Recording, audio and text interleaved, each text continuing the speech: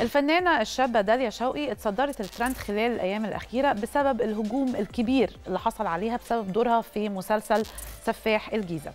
والحقيقة أنه الموضوع اتحول لأشبه ما يكون بخناقة على السوشيال ميديا. ما بين الجمهور وما بين عدد من الفنانين اللي دافعوا طبعا عن داليا شوقي. وكان في مقدمتهم محمد فراج جوز أختها وصبري فواز وغيرهم. الجمهور على السوشيال ميديا كان شايف إن داليا شوقي كانت over acting وده اللي خلى داليا شوقي تطلع وترد على الجمهور وتطلب منهم إن هم يبطلوا ينتقدوها بشكل جارح ويكونوا حنينين في التعامل معاها. ولكن اللي كبر الموضوع كان البوست اللي عملته والدتها الفنانة المعتزلة منال الفطاطري واللي هاجمت الجمهور بشكل مبالغ فيه ووصفتهم بإن هم معشر قريش وعبدة الأصنام. واللي زود المشكلة إنه الفنان محمد فراج طلع هو كمان واتهم الجمهور اللي انتقد داليا بإن هم مش بيفهموا في الشغلانة وإن هم واخدين فلوس عشان ينتقدوها.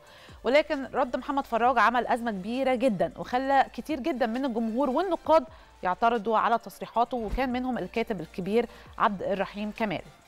لكن محمد فراج بعدها طلع على السوشيال ميديا ووضح موقفه وقال إنه كلام تم كلامه تم اقتطاعه وإنه كان بيتكلم بشكل عام عن الإشاعات والهجوم مش بيتكلم عن الجمهور.